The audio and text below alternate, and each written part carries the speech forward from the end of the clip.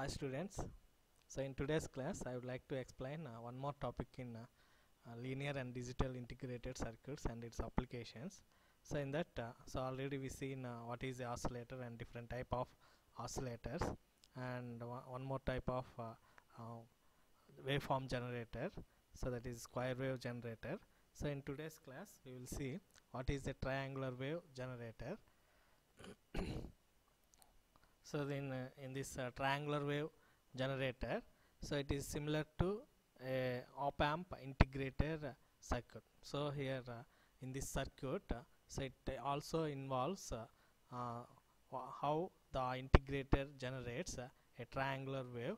So that will be used that principle will be used in this triangular wave generator. So we have to recall that the output waveform of the integrator is triangular so if its input is a square wave so this means the triangular wave generator can be formed by simply connecting an integrator to the square wave generator.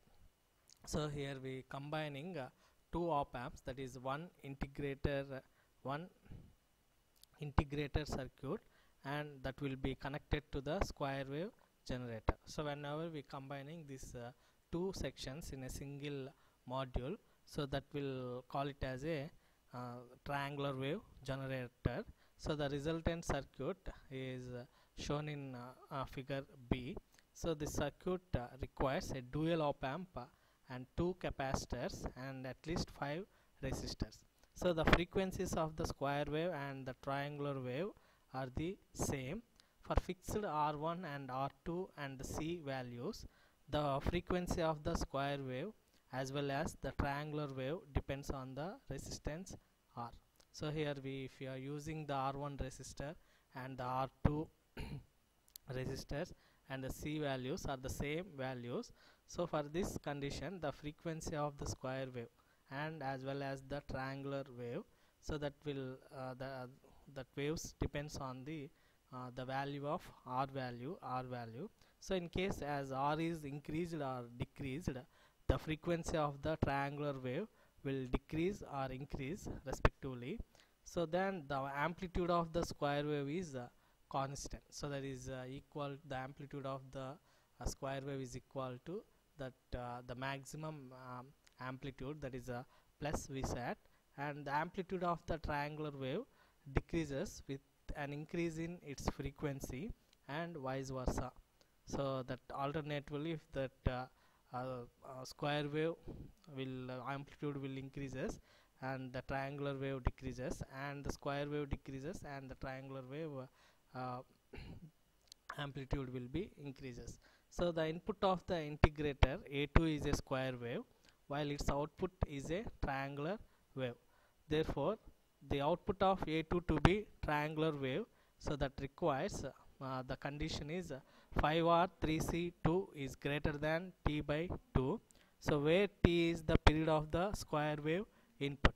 So in this uh, at this condition so if uh, r3 c2 should be equal to uh, time period t to obtain uh, uh, the triangular wave it may also be necessary to the, the, uh, the shunt capacitor C2 with resistance R4 is equal to 10 into R3 so and we connect an offset voltage compensating network at the non-inverting terminal of A2 so here we have another triangular wave generator circuit. So which requires uh, a few components so that will be shown in uh, in in the next uh, figure. So in this figure um, the generator consists of a comparator A1 so here we are using a comparator and the integrator A2 and the comparator A1 compares uh, the voltage at point P continuously with the inverting input that is at uh, 0 volts when the voltage at uh, point P goes slightly below or above 0 volts. So then the output of A1 is at the negative or positive saturation level. So this will be at uh, saturation level. So coming to the circuits operation uh, first of all we set uh, the output of A at positive saturation. Uh, that is nothing but plus V volts or that is equal to plus VCC voltage. So this plus V voltage is an input of the integrator uh, A2 so the output of uh, circuit so it will be a negative going ramp so therefore one end of the voltage uh, um, uh, one end we have to follow the voltage divider rule. Uh, so in between the R2 and R3 so is the positive saturation voltage of uh, plus V voltages of uh, at a point. So and the other is uh, the negative going ramp of uh, A2 so when the negative going ramp attains a certain value at the uh, V ramp that is uh, so in case at T at T is equal to T1 so the voltage at point P becomes equal to 0 so therefore that minus V ramp is equal to minus R2 by R3 plus VSAT and similarly at T is equal to T2 when the output of A1 switches from minus VSAT to plus VSAT plus VSAT so at the time at the time uh, the plus uh, VSAT voltage that is uh, plus V ramp is equal to minus R2 by R3 minus VSAT so that is equal to minus minus plus the, therefore R2 by R3 uh, VSAT so the, therefore uh, the peak to peak amplitude of the triangular wave is equal to so V naught is e V naught uh, peak peak to peak is equal to plus V ramp minus uh, minus of minus V ramp so we get that is equal to the resultant equation is 2 into R2 by R3 VSAT. R3 R2 by R3 VSAT. So this is the peak uh, peak to peak amplitude of the triangular wave triangular wave. So uh, therefore uh, the output of wave 1 will switch from positive saturation to negative saturation voltage. So this means that the output of A2 will now stop going uh, negatively and will begin to go positive uh, way that is a positive uh, voltage. The output of A2 will continue to increase until it reaches reaches uh, at uh, plus V sat voltage. So this this time the point uh, P is slightly above 0 volts. So therefore the output uh, A is uh, so A is uh, it is switched back to the positive saturation level. So therefore this sequence will uh, repeats uh, so the output waveform is equal to a triangular wave a triangular wave that in plus V sat uh, from at, at time period uh, t1 that will be uh, first uh, first ramp will be generated in between those uh, time period. So at the negative time period that will be t by 2 t by 2 uh, again uh, we'll get another ramp voltage another ramp voltage. So therefore the frequency of the square wave and the triangular wave are the same. So the amplitude of the square wave is a function of the DC supply voltages. So however uh, a desired amplitude can be obtained by using appropriate uh, it, uh, this value is uh, at the output of A1 uh, op uh, A1 op amp. So the amplitude and the frequency of the triangular wave can be determined uh, uh, from this figure. So when the output of the comparator A1 is uh, plus volts and the output of the integrator uh, A2 will be uh, decreases. So until it reaches uh, minus minus uh, V sat voltage. So at this time the output of uh, A1 switches from uh, plus volts to minus volts. So just before uh, we get the switching uh, the voltage at point P uh, that is uh, plus V volt plus A1 voltage will be 0 volts.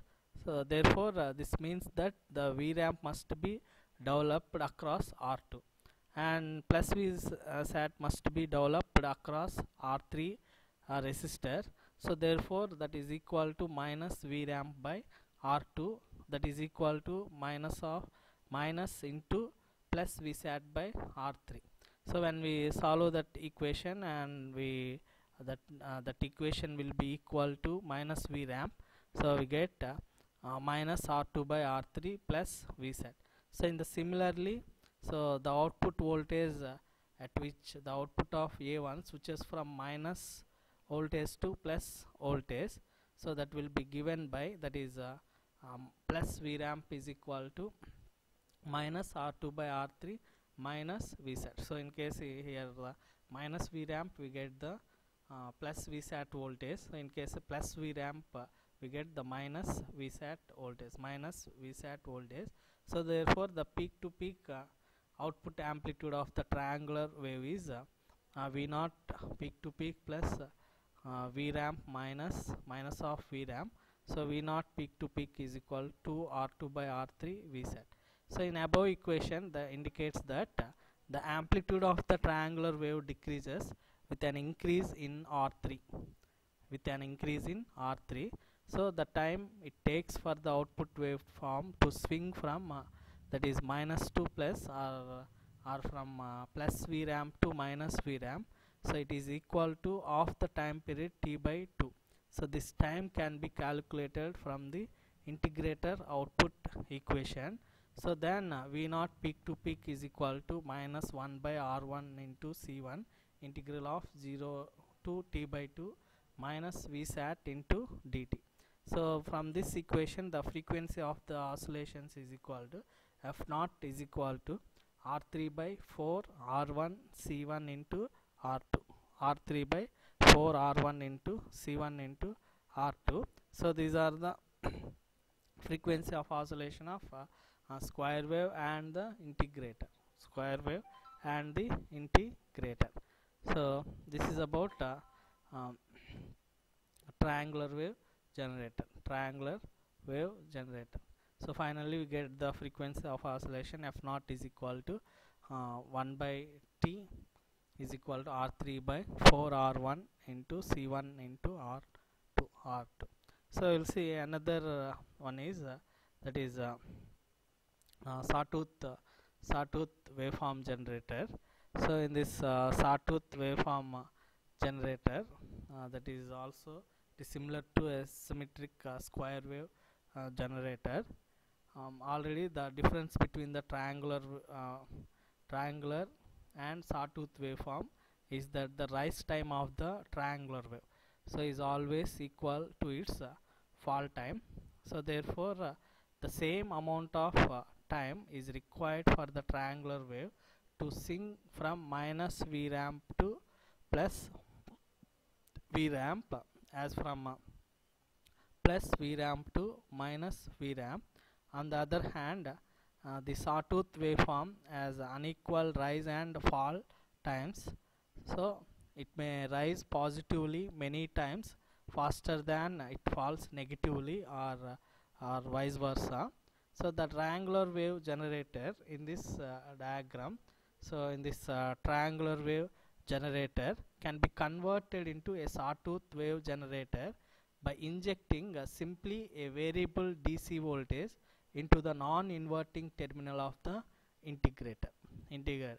So this triangular and the sawtooth wave is mostly similar, but in triangular wave, uh, so we didn't give any DC voltage. Uh, uh, at any uh, feedback terminal or uh, on inverting and non-inverting terminal for the same triangular wave uh, generator so that can be converted into a sawtooth wave generator simply by injecting uh, uh, a variable DC voltage uh, into the non-inverting terminal of the integrator at uh, A2 op amp at A2 op amp so this can be uh, this can be um, equally generate uh, uh, uh, sawtooth uh, waveform by using the potentiometer and connecting it to the plus VCC and VE.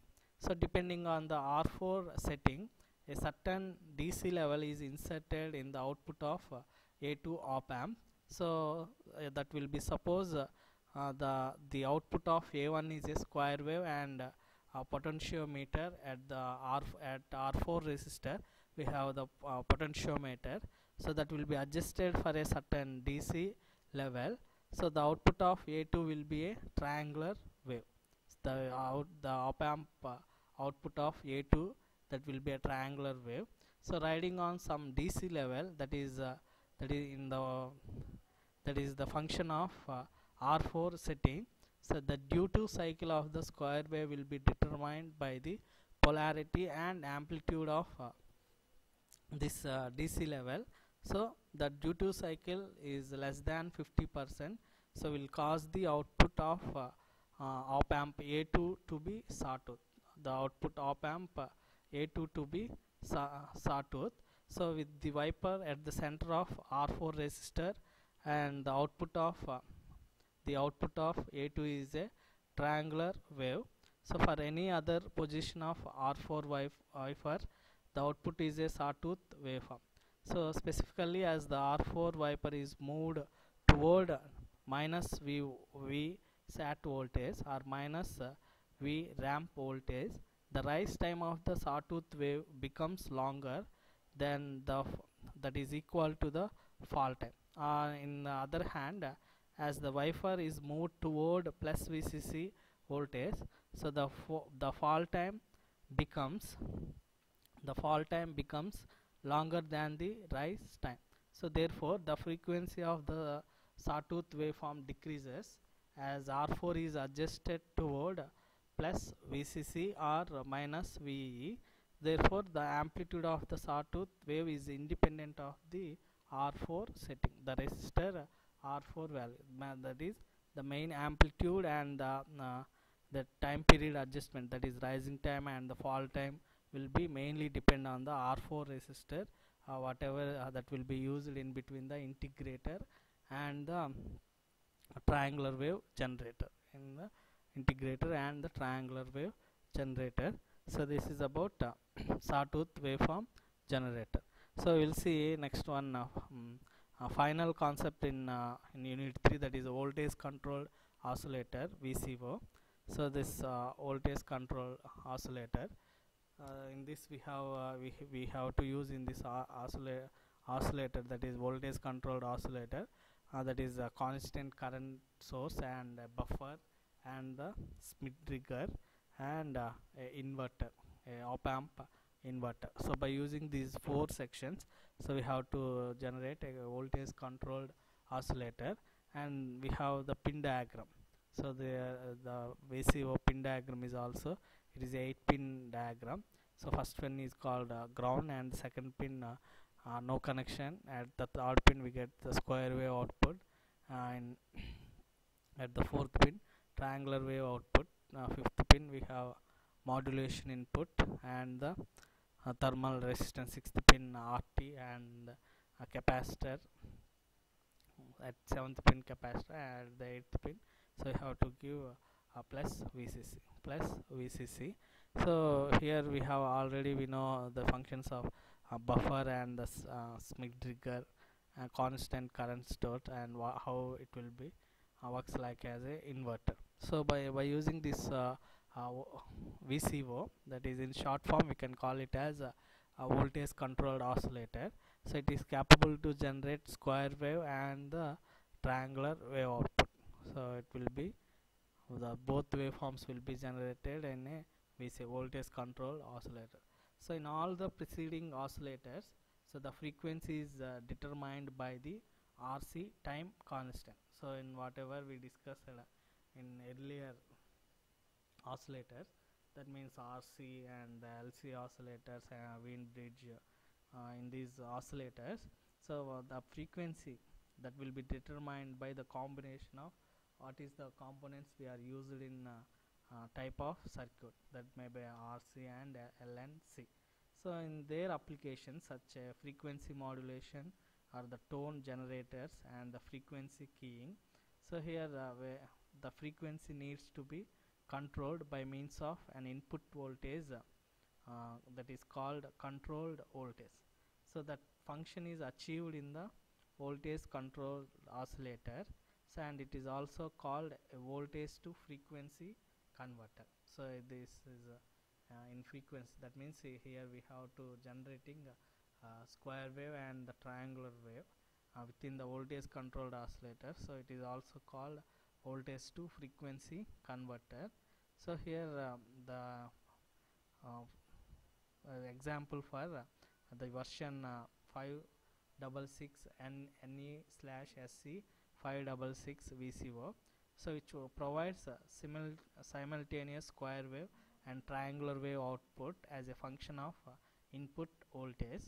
So in figure B we have uh, uh, block diagram of 566 the frequency of oscillation is determined by an external the frequency of oscillation is determined an external resistor R1 and uh, C1 R1 and the C1 here we have we are using the R1 and the C1 or RT or uh, CT values. So the frequency of oscillations is determined by these uh, external component.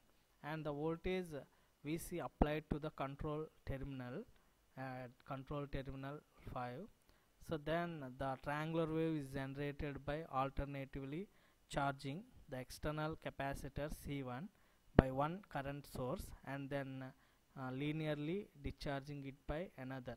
So based on the capacitor charging and the discharging so the, that will generate uh, triangular wave. And the discharge levels are determined by Schmitt trigger action. So here we are using uh, in at what time the capacitor will discharges so that levels will be determined by the this Schmitt trigger device. So the Schmitt trigger also provides uh, the square wave output. So both the output waveforms are uh, buffered. So the output impedance of each circuit. So the whether it may be Schmitt trigger or buffer or inverter so for this the output impedance is uh, 50 ohms 50 ohms. So by using this uh, we can uh, we can call it as a voltage controlled oscillator or or voltage to frequency converter frequency converter. So this is the operation of uh, VC voltage controlled oscillator voltage controlled oscillator. So thank you for uh,